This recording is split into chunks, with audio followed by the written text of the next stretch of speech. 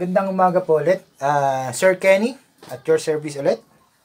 So, translation ng mechanical system, transfer function. Wala yung function natin dito na bura. So, ito yung ating function, uh, mechanical system. So, alamin natin yung x sub 2 of s over f of s.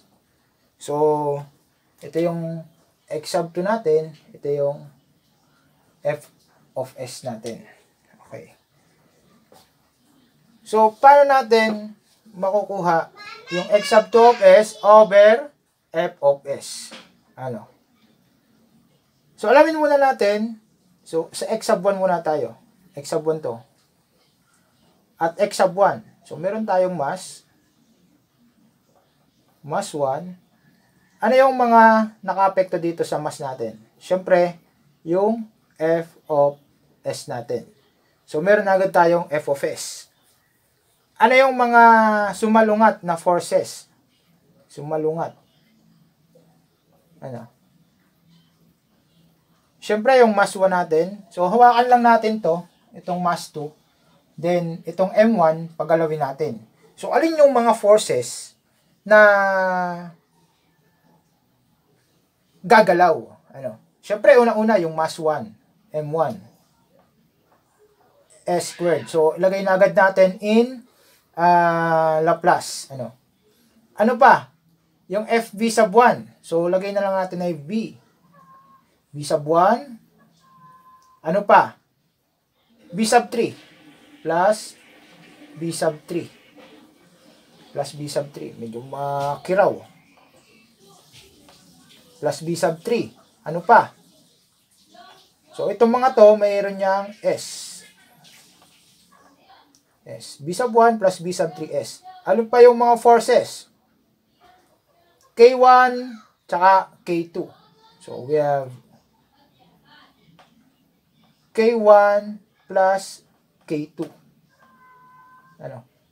So, itong mga forces na to, yan po ay para sa x sub 1 of s. So, meron siyang multiplier na x sub 1 of s. So, nakabase ka ngayon sa x sub 1 of s. Ngayon, alin naman yung kaayon ng ating force na f of s? So, alin yung mga nakadikit dun sa ating x sub 2 naman? Nagagalaw din. Ano? Nagagalaw din.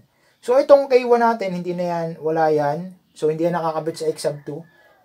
B1, hindi rin nakakabit sa x sub 2. So, siya nga pala, FB1, ginamit ko ay capital letter B. FB sub 3, ginamit ko ay capital letter B sub 3. Okay. So, ang mga naging kaayon ni FFS na naka-apekto sa X sub 2 ay X sub 2 of. Yung ating B3 at saka K2. So, meron tayong equation. Ano? So, f of s is equivalent to, ano yung maging equivalent niya? So, m sub 1 s squared plus b sub 1 plus b sub 3 s plus k1 plus k2 times the quantity x sub 1 of s. Minus, ima-minus natin, minus, itong b sub 3 s plus k2. So, may multiplier yan na uh, x sub 2 of s. Okay. Maliwanag yun ha. Itong mga tong forces na to, ito yung nakaka-apekto o yung nakaka sumasalungat dun sa ating force. Ano? K1, B1, B3, K2. In terms of X sub 1. And then meron din pong forces nakaayon si F of S. Yun yung uh, kasalungat uh, nasa X sub 2. Ano, nasa X sub 2. Sila po ay si B3 at saka si K2. B3 at saka si K2. So meron ka ng equation 1. Meron kang equation 1. Okay? So, kung meron ka ng equation 1, anong kasunod nating kukuhanin? Equation 2 naman. M sub 2.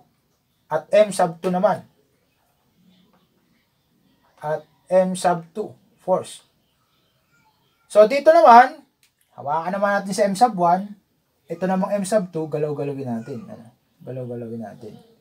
So, ano yung mga forces na nakaka-apekto dyan kay M? Siyempre, kapag inawakan mo to, ginalaw-galaw mo to, mga salungat na forces, so yung lahat ng uh, sumasalungat, hindi na nasulat to. Red naman, red. Ah, uh, B2 plus B3. O yung M muna, M. Ako, sikip tayo ah.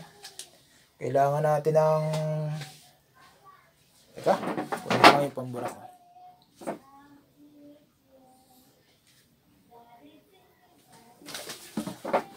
Ito pala.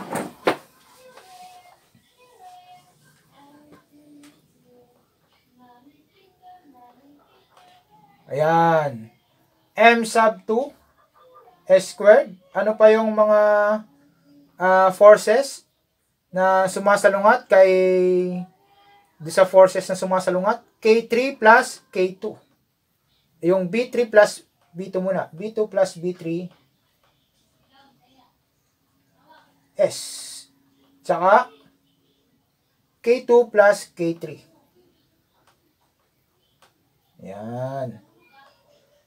Ano naman yung forces na umaayon dun sa ating x sub 2? Ito nga pala ay in terms of x sub 2 of s. O umaayon siya sa x sub 2 of s. Ano naman yung mga forces in terms of x sub 1 of s? Yung mga kaayon x sub 1. So ito lang 'yon, ano? Ito lang yung x sub, ito lang yung mga forces na nakatikit kay x sub 1. So, you have B3 at saka K2. Ayan. So, meron kang B3 at saka K2. In terms of x sub 1 of S.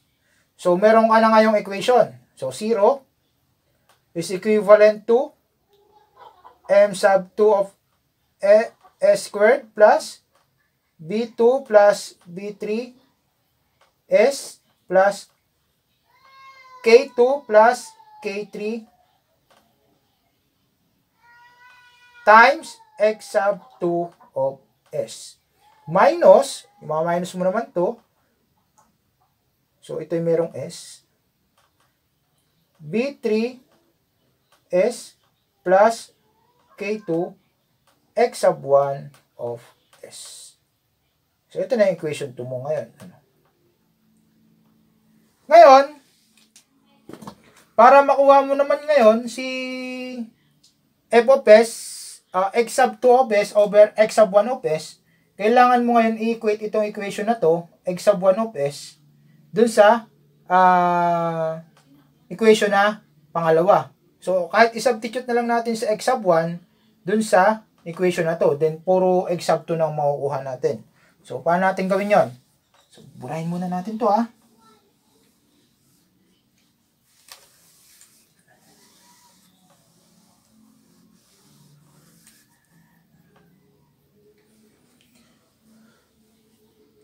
So you have 0 is equal to m sub 2 s squared plus v2 plus v3 s plus oh ito pala yung meron ganyan.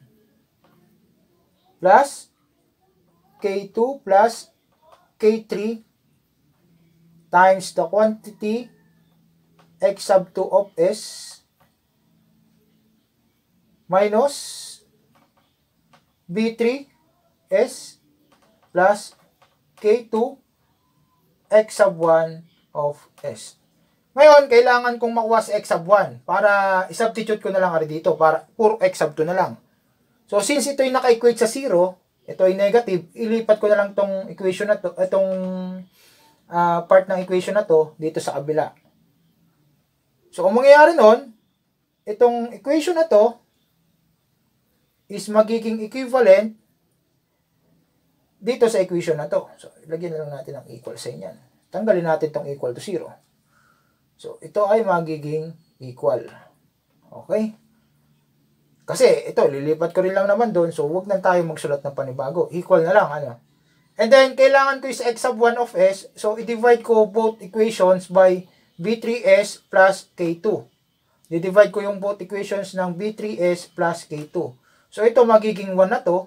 And then, ito, magkakaroon ka ng over b3s plus k2. So, yun na. So, tatanggalin natin to. So, this is equivalent to x sub 1 of s. And then, pag nakuha na natin to, equal yan. Equal yan sa x sub 1 of s. Sa-substitute natin ngayon na rin dito sa x sub 1 of s. Okay, naisulat na natin to. Wala na tayo tayong problema dito.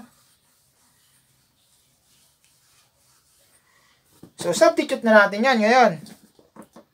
So, f of s is equivalent to m sub 1 s squared plus b1 plus b2 b3 s k1 plus k2 times ito naman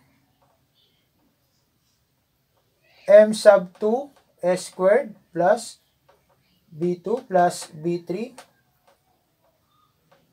S plus K2 plus K3 X sub 2 of S. So, meron pa yung over na B3S minus B3S plus K2 X sub 2 of S. So, may mali ba sa equation natin? O tama lahat? So, ang kulang lang, yung sinubstitute natin na x sub 1 of s, walang b3 s. So, i-multiply na lang natin yan sa both sides natin. So, kapag multiply natin yan, yung f of s natin, magiging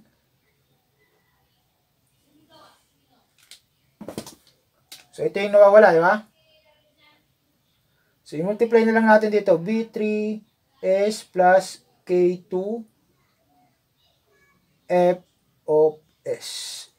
Tapos ito, magiging square. Ayan. So, yun ang mangyayari dyan. So, makukuha mo na si x sub 2 of s over f of s. Kasi yun na lang ang ating nakuha uh, variable. x sub 2 of s saka f of s. So, ko-cross multiply na lang natin yan para ma-cross multiply natin sa x sub 2 of s, so ang, ang kanyang coefficient mapapunta sa ilalim, yung coefficient ng f of s mapapunta sa uh, ibabaw naman. So mananatili nga sa ibabaw. So B3 s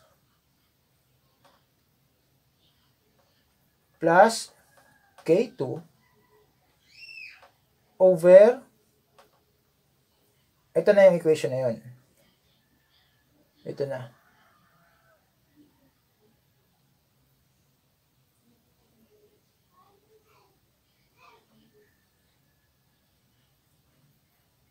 Yan na yung equation na yun. So, isusulat lang natin yan diyan. Right? m sub 1 s squared plus b1 plus b3 s plus k1 plus k2 times the quantity m2 s squared plus b2 plus b3 s plus k2 plus k3 minus b3 s plus k2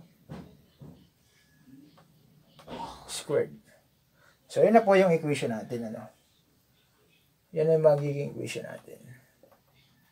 So, para maliwanag, lagyan natin ng ganun. Yun na yung ating sagot. Okay, medyo mahaba, pero madami lang sinusulat, pero madali lang din naman. Kaya-kaya po natin yan isolve. So, mamaya po, ah yung meron namang mga, ah yung coefficient natin ay in forces na talaga. Ano? 1 Newton, ah 1 kilogram, mga ganun po.